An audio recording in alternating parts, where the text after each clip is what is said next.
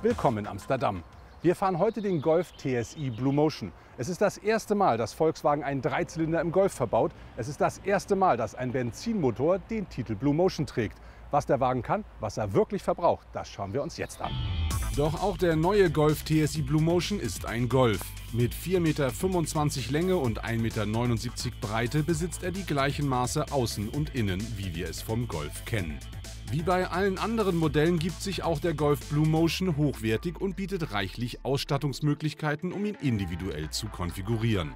Die Liste möglicher Sicherheitsassistenz- und Infotainment-Systeme lässt kaum Wünsche offen. Auch von außen ist der Golf TSI Blue Motion leicht zu unterscheiden von seinen Markenbrüdern. Zum einen durch das Blue Motion Schild an der Front und am Heck. Aber wir haben hier auch einen anderen Kühlergrill. Im Kühlergrill ist eine Lamelle, die kann sich öffnen und schließen. Das ist gut, um die Motorkühlung bzw. Erwärmung des Motors zu steuern.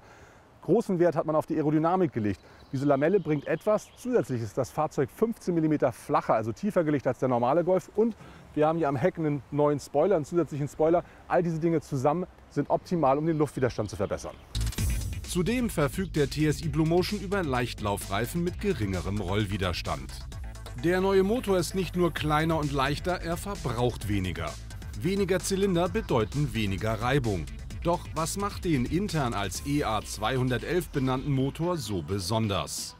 Ich beginne mit dem äh, Zylinderkopf. Wir haben hier im Zylinderkopf, das sieht man hier, ist der äh, Abgaskrümmer im Zylinderkopf zusammengeführt. Äh, die Abgaskrümmer, das heißt, wir sparen uns den Abgaskrümmer und wir können damit das Abgas im Zylinderkopf runterkühlen und ersparen uns die Volllasttanfett. Und der hat zudem den Vorteil, dass wir das Kühlwasser relativ schnell aufwärmen. Das heißt, im äh, Kaltstart wird der Motor deutlich schneller warm, der Innenraum wird schneller warm.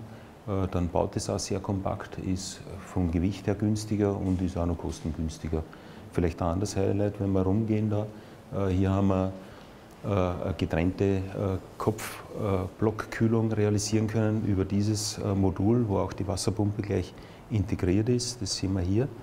Äh, und das Schöne ist, über dieses Modul können wir unterschiedliche Temperaturen fahren. Also unten, äh, wo man es gerne ein bisschen wärmer hat, wegen der Reibleistung, äh, fahren wir höhere Temperaturen und im Kopf können wir sagen wir, kühleren Kopf bewahren. Bei dem Motor, das tut der Verbrennung wieder gut. Ne?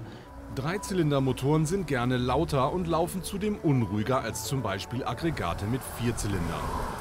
Ihnen die gewünschte Laufkultur beizubringen, verlangt nach einigen technischen Kniffen. Der Golf TSI Blue Motion hat einen Dreizylinder an Bord, wie wir bereits gesagt haben. Das Interessante ist, man merkt überhaupt nicht, dass man einen Dreizylinder fährt. Der Wagen ist agil, genauso wie beim Vierzylinder. Der Wagen ist sehr leise, auffällig leise, sodass man zum Beispiel in der Stadt oder bei sehr langsamer Fahrt den Motor fast gar nicht hört und eigentlich kaum Geräusche von außen nach innen dringen. Sehr schön ist auch die Charakteristik des Motors. Er fühlt sich an wie ein Vierzylinder und zusammen mit dem DSG-Getriebe läuft er sehr ordentlich, also für die Alltagsfahrt perfekt geeignet. Das typische Ruckeln eines Dreizylinders beim Anlassen und Stoppen konnten die Wolfsburger dennoch nicht ganz unterdrücken. Die Stopp-Start-Automatik ist spürbarer als bei anderen Modellen. Ansonsten merkt man kaum Unterschiede zum bisherigen Antrieb.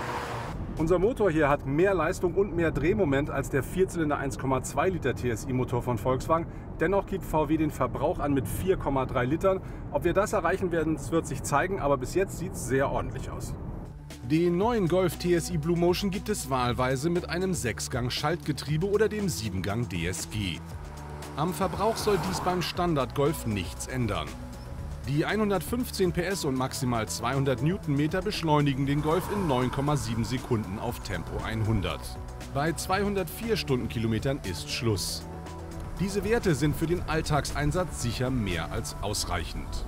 Mit einem Einstiegspreis von 20.450 Euro ist der TSI Blue Motion rund 1.000 Euro teurer als der 110 PS 1,2 Liter Vierzylinder.